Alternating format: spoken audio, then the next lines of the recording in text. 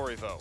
Opoku's onside for this one. Coming in on the near angle. Edward Opoku shoots just wide, and he cannot believe it. Pablo Aguilar escapes, and he's left it wide for Sheldon Sullivan, who will get there. Sullivan service in. Once Raheem Taylor Park spilled by McCauley, and there's Pablo Aguilar to finish it off. The deadlock broken in the 82nd.